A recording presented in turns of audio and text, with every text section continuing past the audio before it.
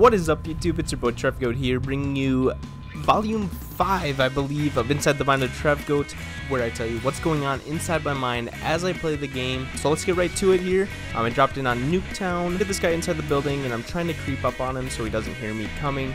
Um, I ended up getting shot uh, right here behind me I believe. Um, so that kind of screwed up the plan, so I had to run away. Didn't really know where that guy was shooting me from, so I just tried to run around in circles so he couldn't shoot me.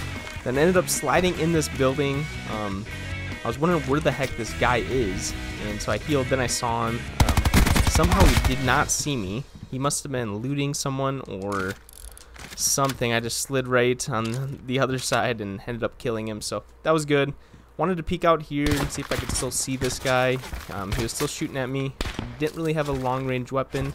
I tried to see if I could see him through the building. Um, wasn't able to see him, but that's a okay. And that brings me to my next clip here. Um, as I'm kind of running away, going towards the circle, um, I hear this guy behind me.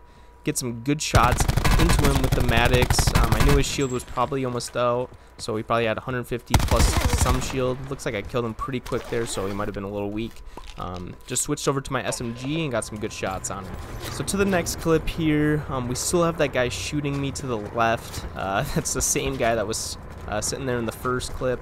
Um, I ended up just getting out of there with the four-wheeler, and um, we're just trying to get to the circle.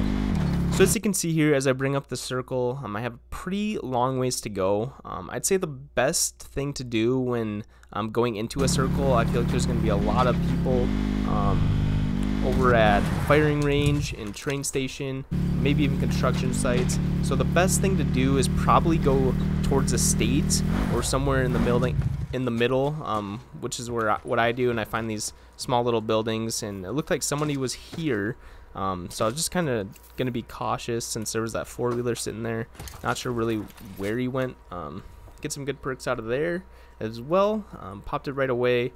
And that brings me to my next point here. Perks are huge in solos. You can probably get away with not having them in squads and duos um, some of the time, but they're huge in solos. They are a huge advantage um, over players when you have them. Um, and if you don't have them, um, like for example right here, I'm just using Skulker to you know, move around, and I finally end up hearing uh, one of the guys right there. Um, I didn't see him right away, but I heard him. Another huge thing to have in solos, too, is a lot of equipment. Um, not just solos, but for any uh, game mode. Duos, squads, um, whatever you're playing. Having equipment is um, by far the best thing that you can do. Um, I would say clusters are huge. Um, I think they just got rid of the 9 actually, um, but they had it in this video.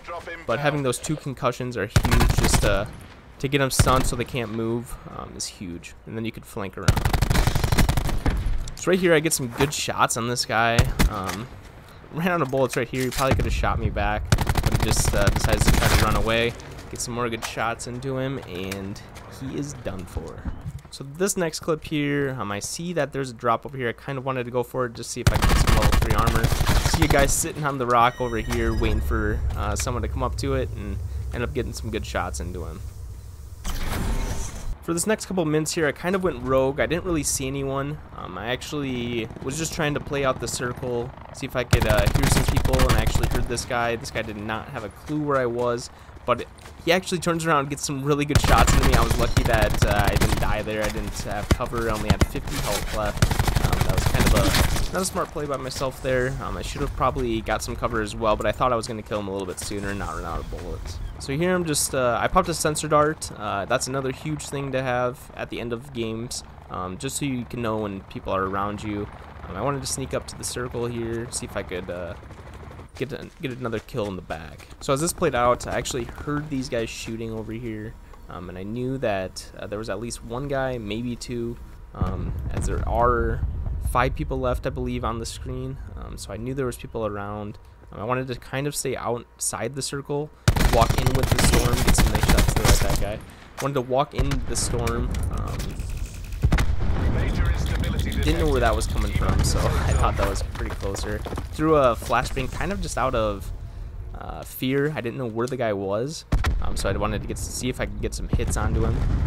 Um, now I'm just running on top of the hill, making sure that I'm the only one up here. A guy laying on the ground. I think that was that guy that actually threw a stun towards. Um, got some more good shots on that guy, and I think there's only one guy left now. Um, I figured he was below the hill. I think he had a sensor dart or something right here.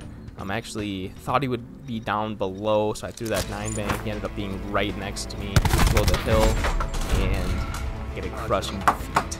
Um, but I hope you guys enjoyed the video. Uh, stay tuned for more videos like this and 2-minute tips uh, coming later on this week, hopefully. Um, and if you enjoyed the videos, please hit that like button and subscribe for more. I'll see you guys later.